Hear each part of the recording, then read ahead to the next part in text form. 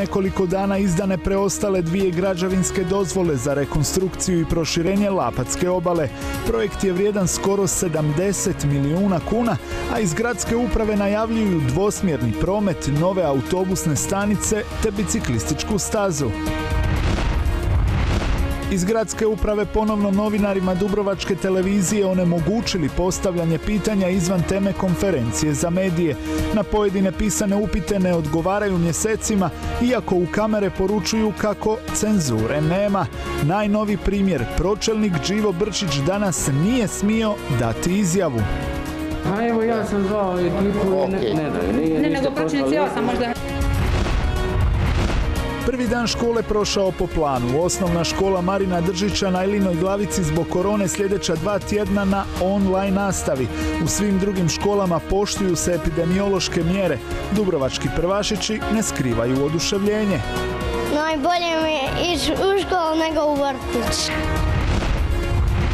Epidemiološka slika u novom tjednu bolja. Na razini države 117 novih slučajeva, u Županiji 10. Stožer produlio odluku o zabrani rada noćnim klubovima poslije ponoći jer se tvrde nije poboljšala situacija s koronom.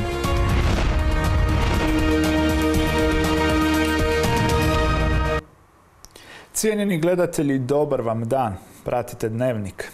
Tek prije nekoliko dana izdane su preostale dvije građevinske dozvole za rekonstrukciju i proširenje Lapatske obale, pa bi tako početkom sljedeće godine trebali konačno početi radovi. Sredstva dolaze od Europske unije i države, a grad će, ako je suditi prema riječima pročelnika koji su projekt danas predstavili u Velikoj vijećnici, dobiti novu šetnicu, biciklističku stazu te dvosmjernu prometnicu.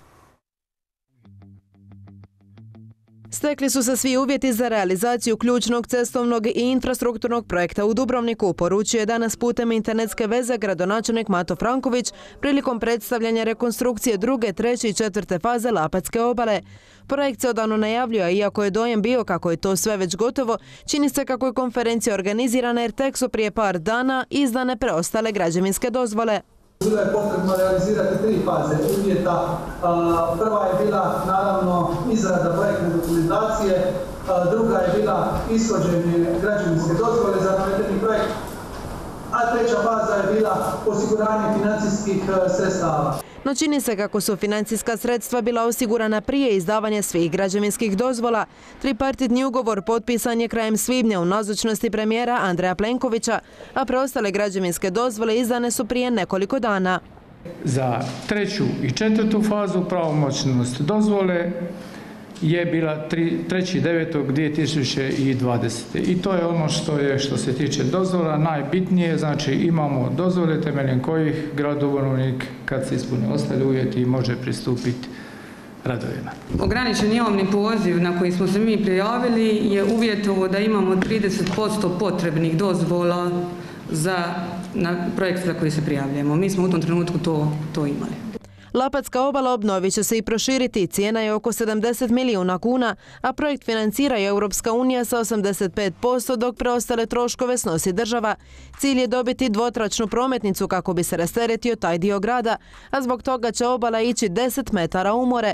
Gradit će se čak 139 podvodnih pilota. Napravit će se i dvije nove autobusne stanice kao i biciklistička staza. Gledajući smjera Batale prema Ursanu, imat ćemo s lijeve strane nogostup širine otprilike 2 metra. Do Sorkočevića ćemo imati dvije kolničke trake svaka po 3 metra, a od Sorkočevića do benzinske postaje INA ćemo imati dva put po 3,5 metra, a s desne strane ćemo imati šetnicu uz more koja bi bila širine od 3,5 do 7 metara. Radovi bi trebali početi u prvom dijelu sljedeće godine. Započeo je postupak nabave, a spremna i dokumentacija za postupke radova i nadzora. Trenutno smo u fazi da je dokumentacija poslana a, u SAFU, odnosno u posredničko tijelo 2 na ex ante kontrolu, kako bi se napravila dodatna kontrola svih uvjeta, a, njihov odgovor, odnosno njihovo mišljenje očekujemo krajem mjeseca rujna, odnosno početkom listopada. Radovi obuhvaćaju rekonstrukciju obale u njenoj punoj dužini, stoga je nezaobilazno pitanje kako će sve to djelovati na rad Marine Gruž. Radi se o projektu komunalne infrastrukture. U takvim slučajevima kada se izdaju građevinske dozvole, nije potrebno pozivati susjede. Oni su u ovom slučaju susjedi. Marina Frapa. Dalje i to je upitno da li su susjedi, po mom tumačenju nisu susjedi, jer se radi o pomorskom dobru, a tamo je, to je isključivo u vlasništvu Republike Hrvatske. Gradonačelnik se nadovezao na pročelnika i dodao kako Marina mora normalno funkcionirati, te kako je cilj u ovom projektu postići partnerski odnos. Incidente, kažu nam izgrada, ne očekuju, no kažu kako ne bi bilo čudno da su u nekom obliku predstavnici Marine pojave, pogotovo u onom pravnom.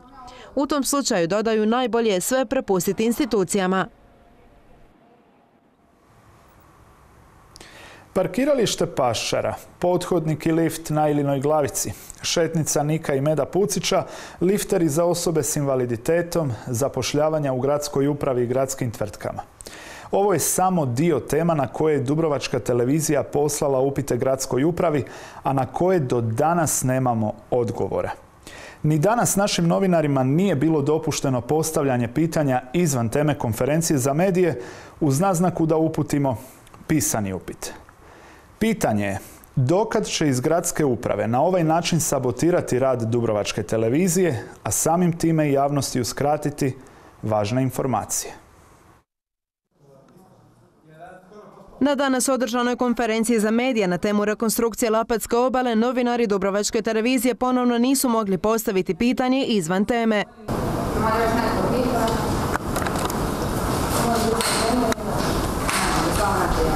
Zamjenica pročelnice upravnog odjela za poslove gradonačelnika Ivana Bernin samo je poručila napišite upit. Ne bi to bilo tako strašno da novinari ove televizijske kuće već mjesecima ne pišu upite na koje im se rijetko odgovara, čak ni kad se u prepisku uključi povjerenik za informiranje. Pojedine odgovore zaprimamo, no oni su nerijetko površni i djelomični, stoga smo primorani slati nove upite i ponovno se nadati kako ćemo u pristojnom vremenskom roku dobiti odgovor. No nisu nam uskraćeni samo pisani odgovori, već i izjave. U više navrata tražili smo usmenu izjavu pročelnika Upravnog odjela za promet Đura Šutala na temu oborinske odvodnje, no iz gradske uprave su nam poručili da pitanje uputimo pisanim putem. Na naše daljne insistiranje za usmenom izjavom na lokaciji i u terminu koji pročelniku odgovara, povratnu informaciju do danas nismo dobili. Slična situacija je danas prilikom prvog dana škole. Pročelnik za našu televiziju nije smio dati izjavu jer zato nije dobio dozvolu. A evo ja sam zvao ekipu i ne, ne, ne, nije Ne, ništa nego pročelnici ja poslali. sam možda. Izjavu nam je proteklog tjedna iz istog razloga odbio dati predsjednik mjesnog odbora Zaton Emilio Puljizević. I njemu je navodno trebalo dopuštenje gradske uprave, iako ga nisu imenovali oni, već je na to mjesto izabran voljom mještana Zatona. Nije ovo prvi put da se Dubrovačkoj televiziji uskraćuju informacije. Svjedočili smo tome i ranije ove godine, primjerice prilikom obilaska radova u Orašcu. I, I dalje bez ikakvih izjava vezano za rezervat Lokrum. Dakle, tema je danas e, vodovod i sve što vas interesira mimo teme, slobodno pošalite, mi smo raspoloženi odgovarati i odgovorit ćemo vam kao i uvijek do sada na sve vaše upite. To znači po vama nije cenzura ako ćete nam odgovarati na pitanja samo u pisanom obliku. Nema cenzure, dakle tema je danas ovo, a vi slobodno možete poslati, mi ćemo vam kao i uvijek javno, jasno i transparentno na sve odgovoriti. Javno, jasno i transparentno očito ima drugačije značenje za gradsku upravu od uobičajenog, jer na većinu upita još nismo dobili odgovor. Upite koje šaljemo zapravo su pitanja građana, a naš je cilj izvijestiti javnost o svemu što se događa i što ih se tiče, a zadržavanjem informacije iz gradske uprave zapravo indirektno štete građanima kojima bi trebali služiti.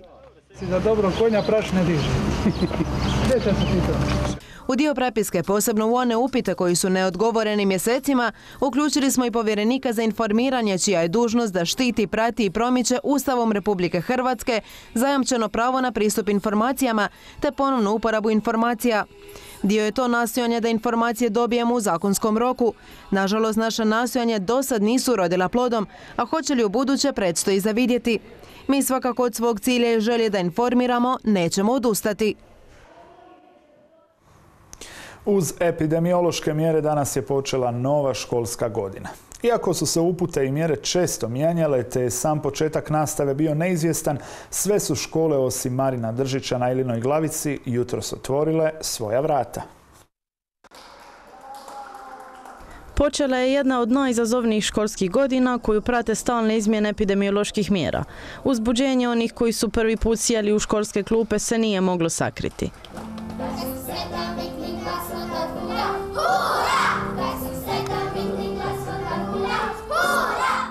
Roditelji i prvašići puni dojmova. Najbolje mi je ići u školu nego u vrtić. Reci mi, je li ti jedva čeka u školu? Mm? Misli da će biti bolje nego vrtić? Mhm. A dobio si torbica i sve, što si stavila unutra u torbicu? Ništa. Dobio sam stol i stolicu doma i dobio sam torbu i pernicu. A, I dobio sam zadaću doma, dvije. Jes, obavezno smo se pripremili, ali već je pola godine, tako da znaju prvaščići, maska se nosi, peru se ruke što češće, drž se razmak. Iz osnovne škole Ivana Gundulića su naglasili kako je veliko veselje svakoj školi dolazak novih učenika, no s druge strane to je i ogromna odgovornost. I djeca i roditelji zapravo svi smo na jedan način poštivali preporučene mjere i uz vrlo kratki program ipak nešto pripremili za našu djecu u ograničenih 15 minuta na otvorenome. U područnoj školi Luci Šipanskoj imamo jednog učenika, također prvašića. Evo, želimo svim našim prvašićima uspješnu, zdravu i mirnu školsku godinu. 85 prvašića stiglo je u osnovnu školu Mokošica i osmero iz područne škole na Osojniku. Prekrasan prvi dan, evo, ne osjećaju se ovi nenormalni uvjeti, roditelji su s njima s maskama, naši prvašići sređeni sa torbama na ramenima, evo, svi smo presretni. Idemo dalje. Prvašiće su s veseljem dočekali i u novo osnovanoj školi na Montovjerni. Za ove preslatke prvašiće koji su došli kod nas organizirati, da im taj dan ne bude baš samo u znaku tog covida virusa, nego da im bude jedan novi početak osvježenje, a naravno pripremili smo učitelje i sve smo pripremili kroz školski program da oni budu osvješteni koliko je higijena, razmak i sve ovo drugo potrebno. Znači nastojat ćemo se čuvati onoliko koliko to budemo mogli. A osnovna škola Marina Držića ovu školsku godinu je započela po C modelu zbog toga što je jedan djelatnik škole pozitivan na koronavirus, a spremačice u samoizolaciji. Radi toga smo odlučili prvo ja, a drugo e, epidemiolog dr. Lakić Dubrovački, dr. e, Stožer Zagrebački, gradonačelnik Dubrovnika, da ne idemo ishitreno e, i da krenemo sa, sa, sa online nastavom za ovaj početni period od dva tjedna. Podršku prvašićima i roditeljima su iskazali iz gradske uprave. Ja želim još jedan put s ovog mjesta e, dobar početak i uspješan rad, naravno uz e, dozu opreza i e, odgovornosti, jer ono to je ono što je u ovim danima najpotrebnije i zaista evo vjerujem da će bez obzira na sve prvašićima ovaj dan ostati u trajnom sjećanju. Iako je pred njima godina prepuna izazova, ravnatelji i učitelji kao i roditelji složni. Napravit će sve kako bi najmlađima pružili normalne i sigurne uvjete u novim okolnostima. A jučer je otvorena novoizgrađena osnovna škola Montovjerna. Uz predstavnike gradske uprave otvorila ju je ministrica kulture i medija Nina Obuljen-Koržinek. Riječ je o prvoj školi koja se u Dubrovniku izgradila nakon 1985. godine i najveći je pojedinačni kapitalni projekt u osnovnoškolskom obrazovanju. Iz gradske uprave navode kako u potpunosti ispunjava potrebe nastavnog programa i kapacitete za organizaciju nastave u jednoj smjeni za učenike od prvog do osmog razreda škole koja ukupno ima 441 učenika, 20 razrednih e, jedinica suvremeno opremljenih kako za e, razrednu nastavu, tako i za sve ostalo, dakle od restorana, sportske dvorane, igralište u neposrednoj blizini, dakle iznimno visoki standard. O potrebi izgradnje e, škole u ovom dijelu Dubrovnika govori se dugo i zato bih posebno čestitala gradonačelniku Frankoviću i njegovim suradnicima koji su zapravo u vrlo kratkom roku od donošenja odluke uspjeli realizirati ovako veliki projekt.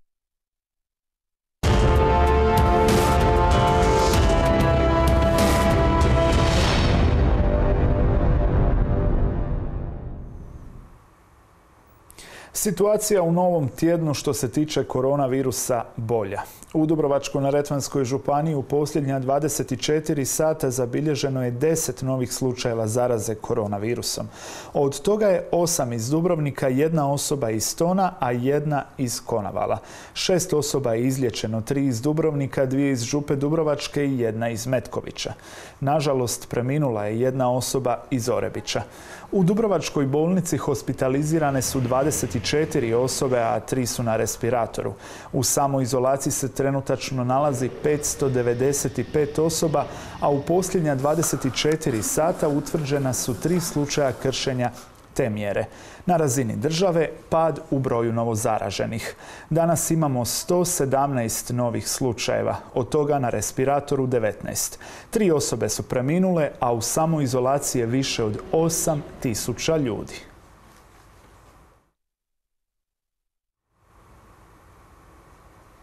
Brojni istupi osoba oboljelih od koronavirusa ili onih koji su u samoizolaciji ukazali su kako ih se nerijetko stigmatizira te kako se o bolesti stvara pogrešna slika. Voditeljica odjela za psihijatriju opće bolnice Dubrovnik i klinički psiholog su nam pojasnili zbog čega dolazi do ove pojave, ali i koja je uloga medija u ovoj priči. Sve je češća pojava stigmatizacije oboljelih od koronavirusa. Voditeljica odjela za psihijatriju opće bolnice Dubrovnik Bernarda Hajdić je kazala kako od uvijek postoji instinktivna potreba kako bi izolirali nešto nepoznato, posebice kad je riječ o zaraznoj bolesti.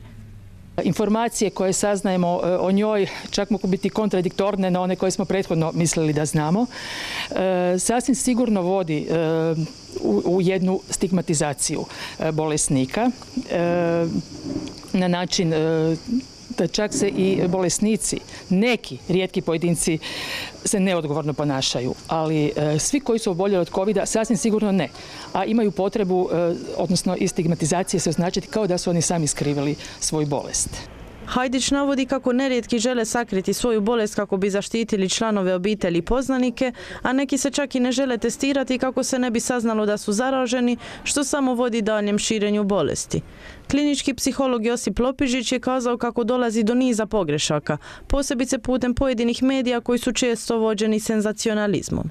E, ljude se stigmatizira zato što uglavnom nisu bili odgovorni u nekim situacijama, zaista su producirali nekakva ponašanja koja nisu bila dobra i onda e, kao, kao uzvrat tome imamo činjenicu da se onda jedan dio ljudi može i sakriti, neodgovorno se ponašati dalje i na taj način se povećati broj oboljelih.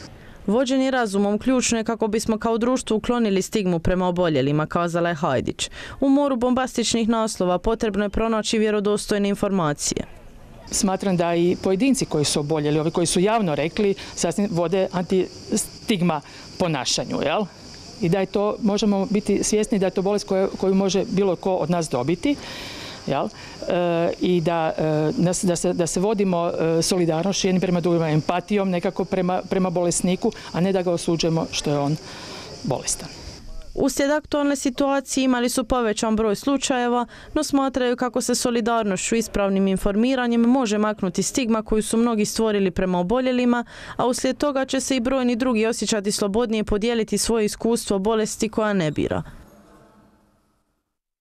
A ministar unutarnjih poslova Davor Božinović najavio je kako će Nacionalni stožer civilne zaštite produžiti zabranu rada noćnim klubovima poslije ponoći jer se, kako tvrde, nije poboljšala epidemiološka situacija u zemlji. To svakako nisu dobra vijesti za brojne noćne klubove koji su već dosta oštećeni ovakvom odlukom. Evo za sada smo ojestili sve naše posjetitelje da smo zatvorili naš ured, isto tako klub ostaje do daljnjega zatvoren. E, naravno pratimo sve epidemiološke mjere koje izdaje nacionalni stožer, ali isto tako i županijski stožer i s obzirom na sve propisano za sada ćemo još uvijek ostati zatvoreni. E, ne možemo se baš e, nešto pretjerano puno požaliti, s obzirom da je uprava stvarno odradila odličan posao i ostavila je sve zaposlenike na plaći, tako da evo ovim putem stvarno još jednom da im se svima i zahvalimo u ime svih radnika kluba Revelin, ali i svih ostalih objekata. No evo, vidjet ćemo zapravo što nam donosi jesen i zima. Mi se naravno nadamo najboljem i da ćemo moći otvoriti kao što smo i radili nekoliko dana u ovoj sezoni. Ispoštovali smo sve mjere.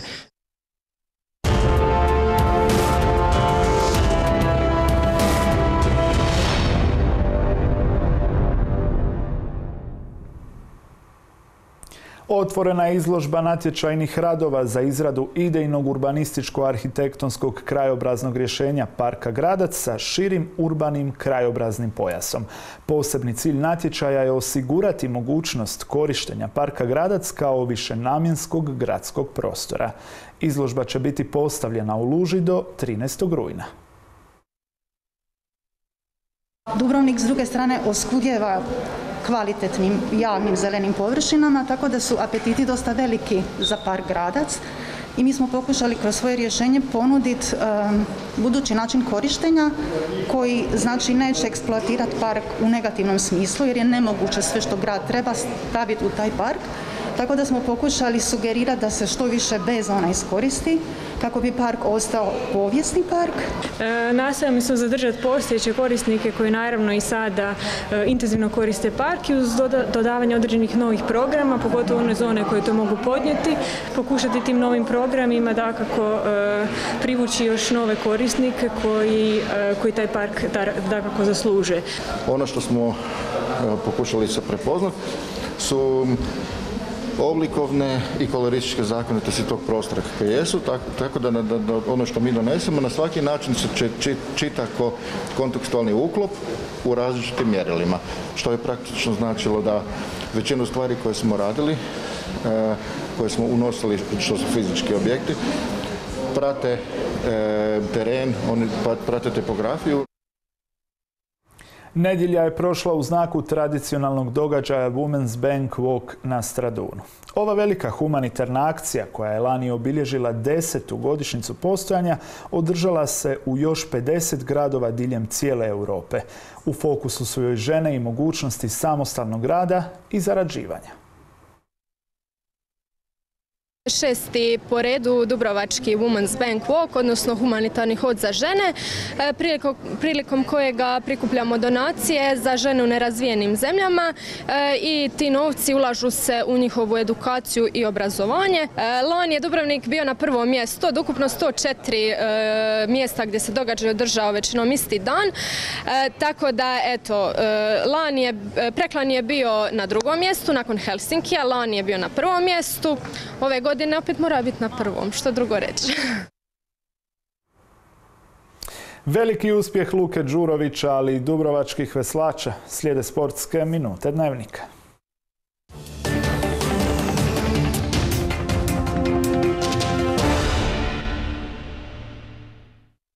Poštovani gledatelji, dobar vam dan.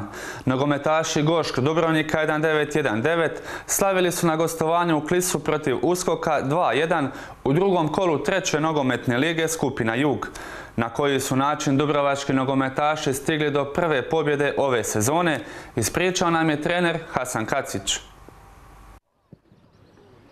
Nakon osvojenog tek jednog boda protiv Zmaja iz Blata, nogometaši Gošk Dubrovnika 1919 u drugom kolu nove sezone treće lige Jug osvojili su sva tri na gostovanju u Klisu. Zbog zdravstvenih problema Milana Petrovića i ovaj put je senjure s klupe vodio Hasan Kacić, voditelj omladinskog pogona Dubrovačkog kluba, koji ne krije oduševljenje ostvarenim uspjehom u Klisu. Teška utakmica, kao što smo i očekivali, tvrda, pogotovo nakon prvog polovremena gdje smo gubili 1-0. Međutim, evo, bila je dobra reakcija igrača nakon prvog polovremena i u drugom polovremenu smo anulirali ovaj, e, prednost domaćina i na kraju i slavili sa pogodkom ovaj, Anela Topuzovića.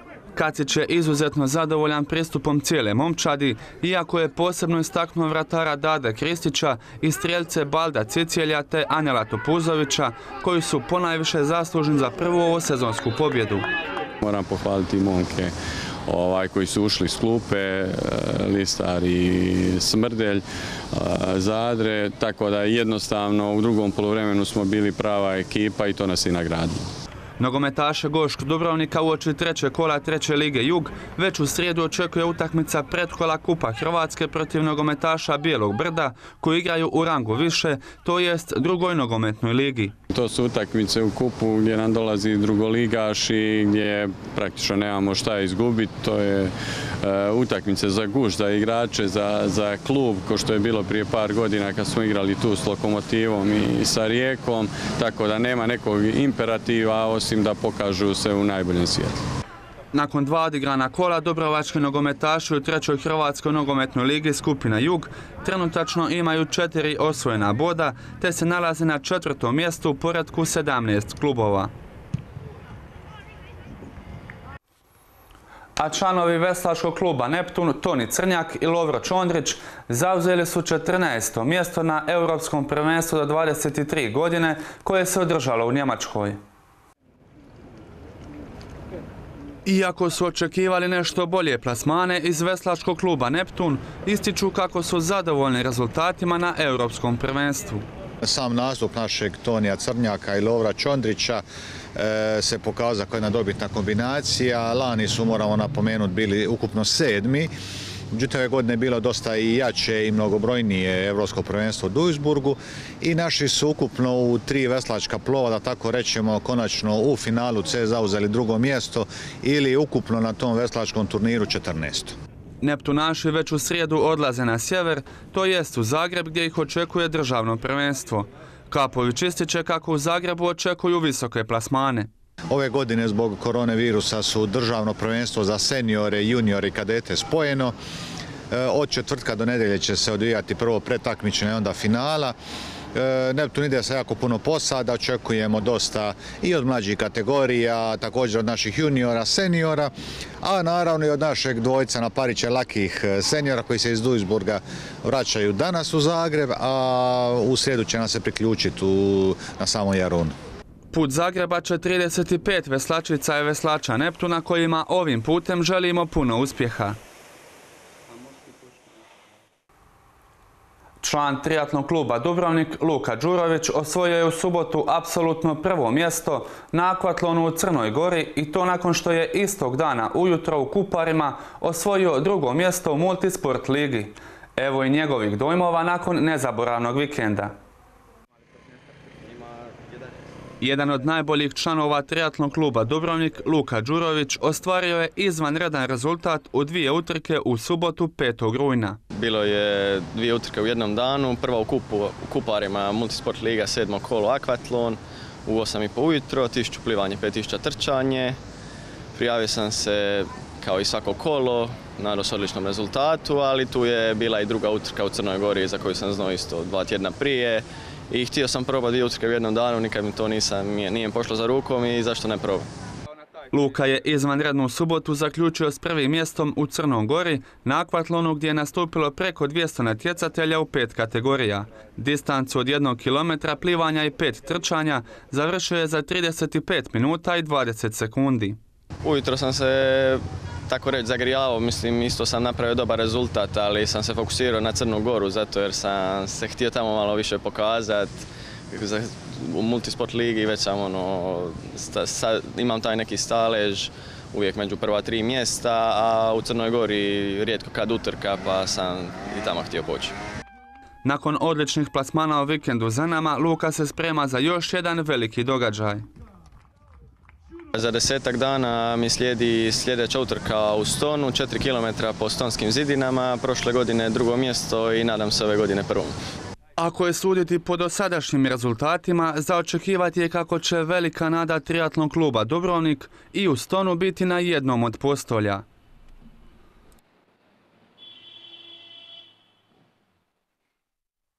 Do sutra i novih sportskih vijesti. Lijepi pozdrav!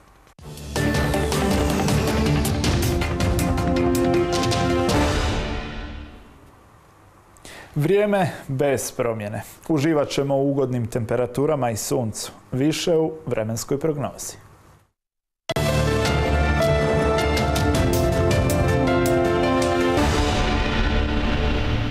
Sutra će biti pretežno vedro, ujutro na kopnu ponegdje magla, u Posavini moguća i sumaglica te niski oblaci. Vjetar slab do umjerene sjeveroistočni, na Jadranu umjerena i jaka bura ujutro s olujnim udarima, a sredinom dana će oslabjeti i okrenuti na sjeverozapadnjak, duž opale, zapadnjak te ponegdje jugozapadnjak. Jutarnja temperatura zraka u gorju oko 10, u ostatku unutrašnjosti između 12 i 15, a na Jadranu od 17 do 21. Najviša dnevna od 22 do 27, na moru između 27 i 30 Celzijevih stupnjeva. Sutra će u našoj županiji biti vedro i sunčano, puhat će slaba do umjerena bura i zapadnjak, a temperatura zraka iznosit će 29 Celzijevih stupnjeva. U moru je 23. U gradu vedro i sunčano. Tijekom jutra puhat će umjerena bura, podne zapadnjak, a temperatura zraka kretat će se od jutarnjih 21 do najviših dnevnih 29 Celzijevih stupnjeva. Vedro i sunčano bit će na Dubrovačkom području i idućih dana. Puhat će slaba do umjerena bura, a temperatura zraka kretat će se oko 26 Celzijevih stupnjeva. U cijeloj zemlji će se biometeorološke prilike poboljšati u odnosu na prethodni dan. Meteoropati će biti boljeg raspoloženja, a kronični bolesnici će lakše podnositi svoje bolesti. Ipak valja upozoriti na tople noći na srednjem i južnom Jadranu, zbog kojih će spavanje i odmor biti otežani osjetljivijim ljudima.